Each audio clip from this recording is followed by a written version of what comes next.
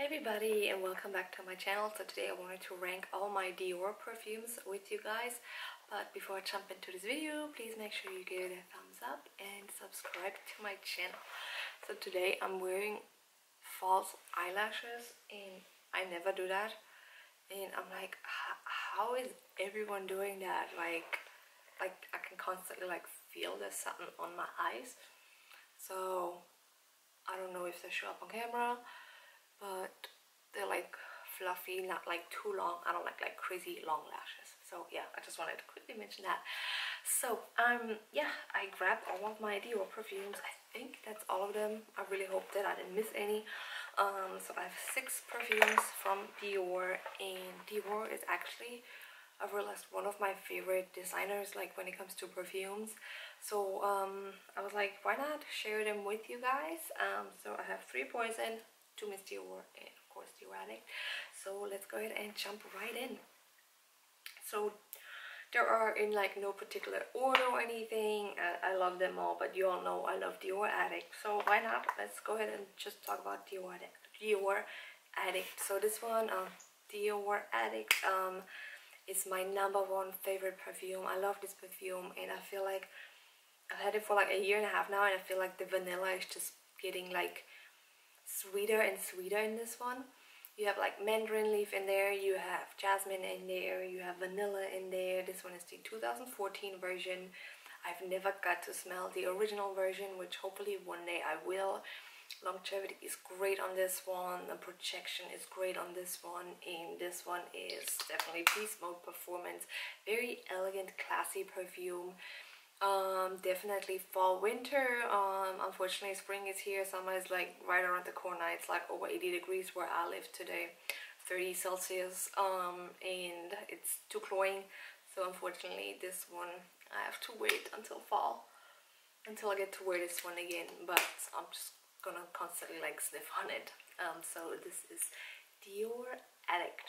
So let's talk about the poison. So the oldest poison i think is out of the ones I have is uh, Hypnotic Poison. This is the Eau de Toilette. I think this came out in 1998.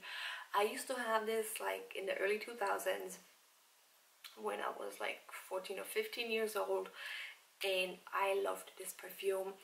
It's definitely more a mature grown-up adult perfume, not like old lady-ish, but definitely like if I smell it, it's definitely not like teenage perfume or anything like that. Um, this one is you either love it or you hate it. It has notes of coconut in there, um, almond, vanilla.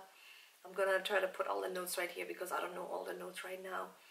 And uh, people say it smells like Play-Doh um, to their nose, but I love it. I don't, I mean, I do get the Play-Doh a little bit, but it's like a delicious Play-Doh. I love it. It's like creamy, sweet, powdery, and I love it. This is the Eau de Toilette. Um, the Eau de Toilette is definitely more available in the stores. Um, if you want the Eau de Parfum, you have to go like on discount websites.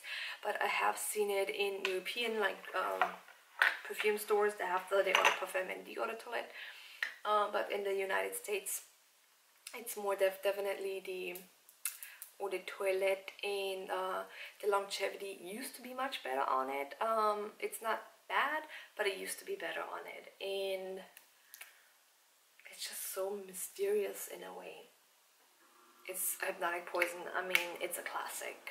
That one is definitely a classic. And I think after Hypnotic Poison, I think uh, the Pure Poison came. I'm not sure what year, um, but Pure Poison, they all smell different. They're like no similarities or anything like that. They're like, I don't know, are they flankers or is it like yeah, the flankers of the poison. and um, this one is definitely a white floral jasmine uh, fresh um, uh, perfume. It's definitely like for every day, the office, this time of the year, spring. This is a great perfume. This one is the Eau de Parfum, I think. Yeah, Eau de Parfum. I don't know if they even make an Eau de Toilette from this one.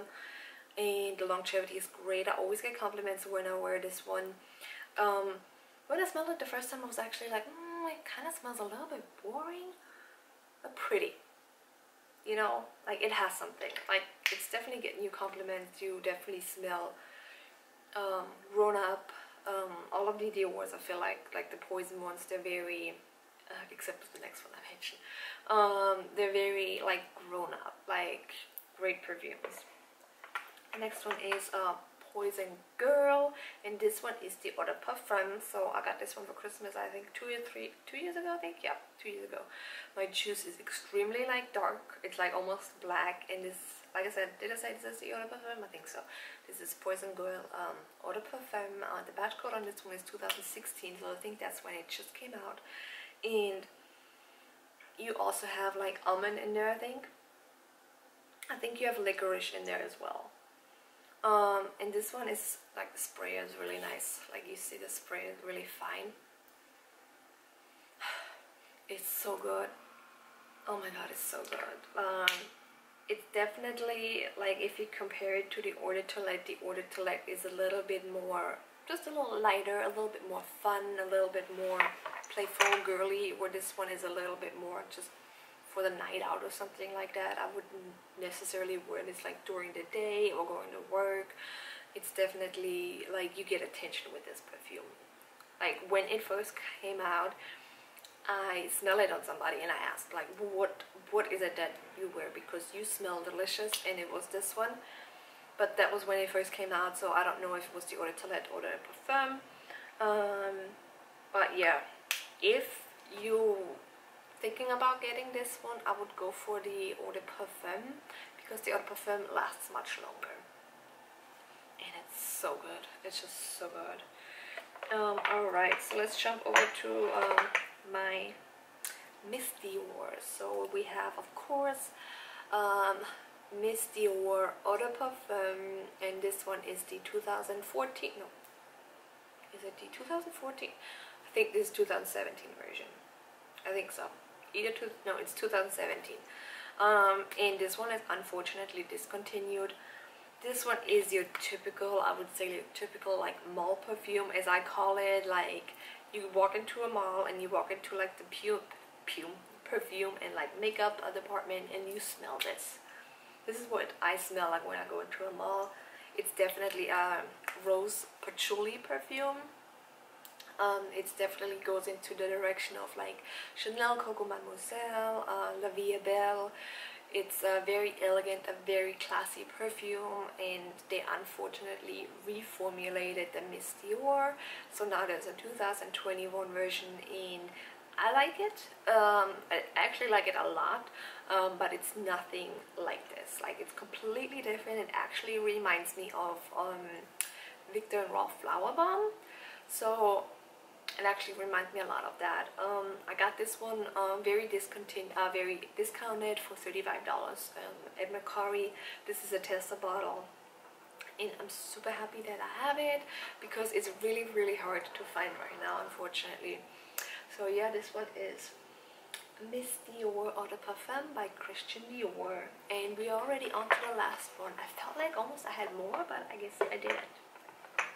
So this one is uh, Miss Dior Absolutely Blooming, um, the Eau de Parfum, and this one is a very pretty girly perfume. It it's just so pretty. Like it's, you know what? Let me quickly look the notes because I really don't know the notes of this one right now at all. So it's like a fruity rose perfume. In the top you have raspberry. Oh god, I love that. And then you have blackcurrant you have pomegranate, pink pepper, May rose, peony, and in the base you have musk. So uh, I think I mentioned this one time that I think there is vanilla in there. Like I don't know, maybe not, maybe in the very deep dry down. But it's so good. Um, unfortunately, the longevity is eh with that one, but it's just so good. It's so pretty. Um, this one is the 1.7 ounces, I think yeah 1.7 ounces. I've heard rumors that this is also being discontinued. I really hope not. I hate that Dior does that. They either discontinue or reformulate constantly and i really really wish Dior you would stop doing that. Uh, please please please don't discontinue uh, Dior please don't ever discontinue that one. So yeah, those were all of my uh, Dior perfumes. Again, please make sure you give this video a thumbs up, subscribe to my channel, and I will see you next time.